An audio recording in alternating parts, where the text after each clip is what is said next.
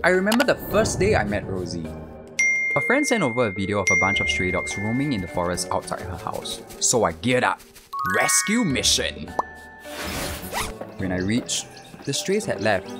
But something caught on me to explore a little longer.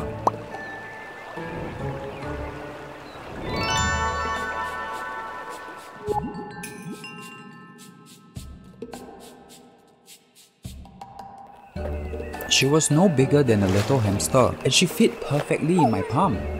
You're coming home with me, Rosie. I've had many unsuccessful attempts of bringing a dog home over the years. No. No! But when I appeared at the door with Rosie, my mom immediately softened. 你啊，Maybe it was because Rosie was half dead. But anyway, you know that meme? Looking at Rosie now, it's hard to believe that there was a time that we could have lost her forever. She has a really, really slim chance of living. But Rosie's a fighter.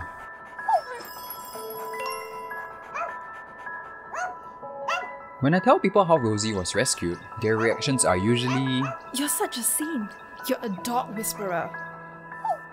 But truthfully, I think it's because I've always just been bad with humans. With dogs, you never feel like your problems are too big for them. Like when you tell them, my mom was just diagnosed with cancer and I feel terrible. Honestly, people struggle to so respond. Lymphoma?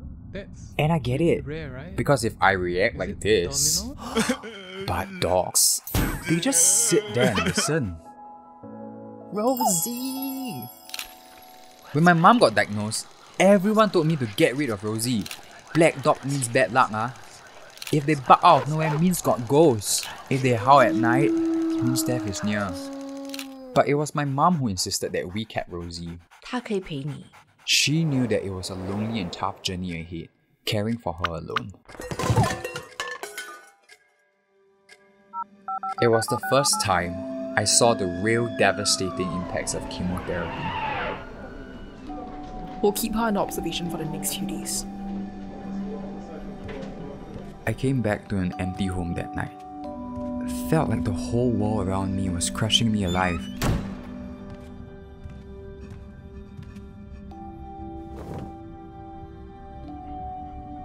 All my life, I've never dared to depend on others for much. But at that moment, I felt like my whole world depended on this small black dog. And she depended on me. Every moment I felt like breaking, Rosie was there to remind me she was helping me fight this. Today was really shitty. I may have rescued her that day, but over the course of two years, she's constantly rescuing me. Hmm.